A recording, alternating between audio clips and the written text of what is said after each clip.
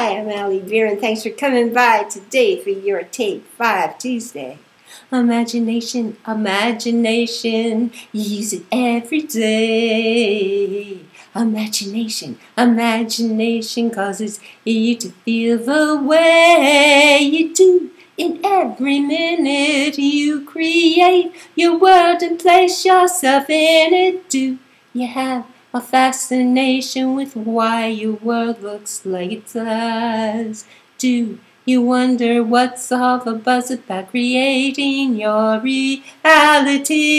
Do you get when you believe, then you will receive what you desire, what you hold dear, to what you aspire to be. Once you believe it, then you will see it manifest in your reality without delay. Can happen right away when you focus only on what you want, ignoring obstacles in the way.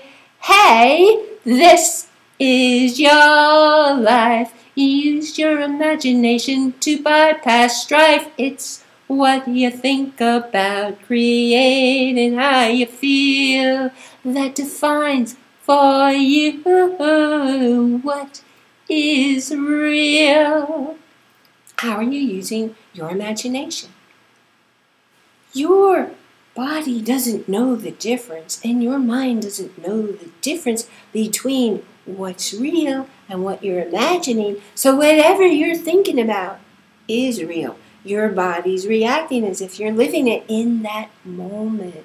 You want to feel great? Imagine living in a situation where you're happy, where you're fulfilled. Imagine that fantastic, amazing relationship is yours. You're part of it. It's not something down the road to go to shoot for. It exists now. And you pull it in to your reality to live it now by focusing there. And yes, it can happen instantly. Hey, the things you don't want, you're manifesting in your life instantly. Because you're thinking the same thoughts every day, causing the same feelings, and 95% of yesterday's thoughts are happening now. I'll see you here next week with your Take 5 Tuesday, and this week, pay attention to what you're doing with your imagination. Use it for happiness. Oh, oh, almost forgot. If you like this, go ahead down below. I appreciate your clicking like, share it with your friends and family. And if you haven't already done so, go on over, get your copy of How to Live Life as It's Meant to Be. And I will see you here next week.